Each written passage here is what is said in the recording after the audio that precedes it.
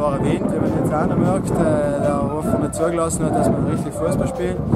Jeder harte Ball ist halb stehen geblieben, es war einfach nicht Fußball, sagen wir so. Aber Gott sei Dank haben wir echt noch das Beste daraus gemacht. Wir haben äh, gekämpft, wir haben äh, einen Wille gezeigt, wir haben auf äh, Standard äh, das erste Tor geschossen.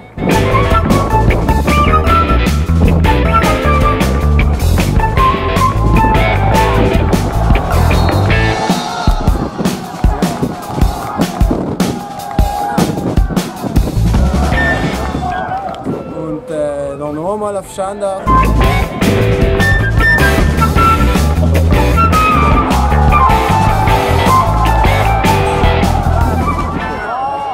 gesehen, wie wichtig die halt sein und dann haben halt drei Punkte, was voll wichtig sind für uns mitnehmen.